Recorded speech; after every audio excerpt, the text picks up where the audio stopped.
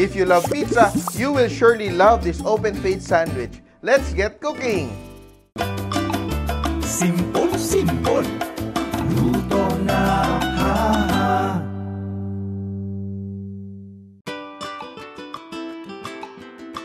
Today we are making tuna melt sandwich, an open-faced sandwich that you will surely enjoy kasi para siyang pizza na may melted cheese on top. So, sisimulan natin yung ating recipe. It's so simple to do. So, we start off with a can or two of tuna. So, yung tuna natin, tuna in brine, no? So, it really depends on the brand you're using kasi yung ibang brands, marami yung laman. Yung iba naman, hindi masyadong marami yung laman. So, what we're using here is around half a cup, no? Half a cup to 3 fourths cup of tuna meat. So, yung tubig sa can, you have to drain it out. And I will add my ingredients. So, I have minced celery. This is optional. White onions.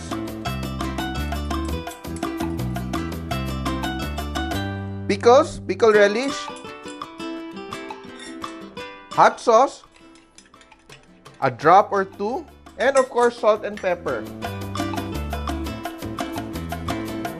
All you need here is an oven toaster. You don't have to use a fancy one. Kahit ordinary na, you know, oven toaster, kayang-kaya itong gawin.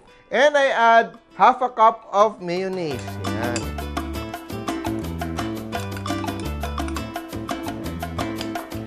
Got that. And lemon juice. So I'm using 1 teaspoon. Or you can also use vinegar. Yan. So, yan, just a little bit of no lemon juice. Diba, hindi mahirap gawin tong ating sandwich today. So, I have 6 pieces of, you know, white bread.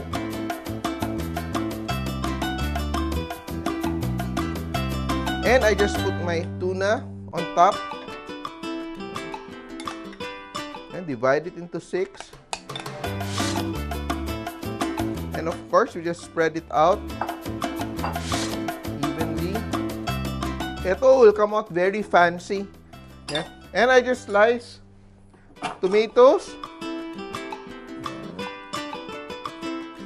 Of course, you have to adjust the seasoning depending on the brand of mayonnaise you're using. Kasi some mayonnaise matamis, some mayonnaise medyo maasim, some mayonnaise medyo bland. Taste your mayonnaise and make the adjustments. So the key of cooking is really to adjust everything to your liking. And I'm just using quick melt cheese. And I grate the cheese on top. Be sure to chill the cheese before doing this para hindi ka mahirapan mag-handle. No? Kasi if your cheese is room temp, it's just going to know, melt in your hands. Todo na. Todo na natin tong cheese. And it's really optional again. If you want to put a little bit of spice or you can add a little bit of, you know, fresh herbs. I'm adding just parsley. You can use dried basil. You can add like curry powder. So it's really up to you how you want to spice up your tuna. And we put it in a preheated oven. So, eto siya, oven toaster lang. Pwedeng-pwede na siya. And I will just put it into my oven. I'm using a Breville Smart Oven. And I will just toast my bread for around 4 to 5 minutes depending on how toasted you want it. In the meantime, while waiting for our tuna to melt, no, yung cheese niya mag-melt sa taas, I'm just gonna make scrambled eggs. Very simple scrambled eggs. Yan. And I'm using eggs from Fresh Options, of course. I will use 3 eggs.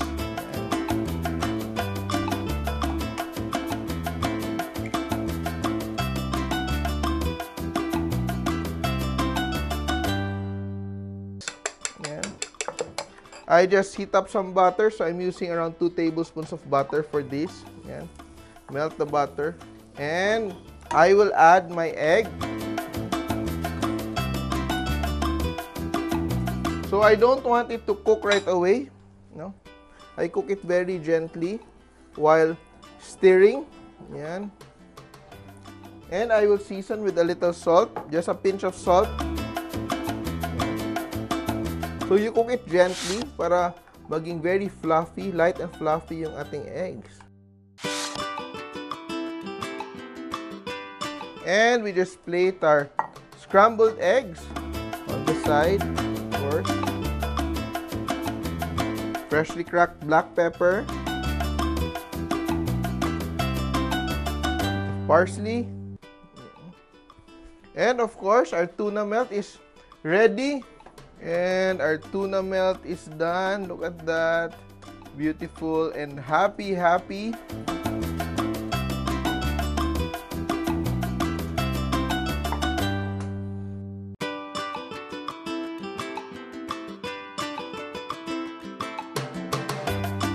Here it is, our version of an open-face tuna melt sandwich. Try this at home and tandaan nyo, kahit sino kaya magluto, basta simple!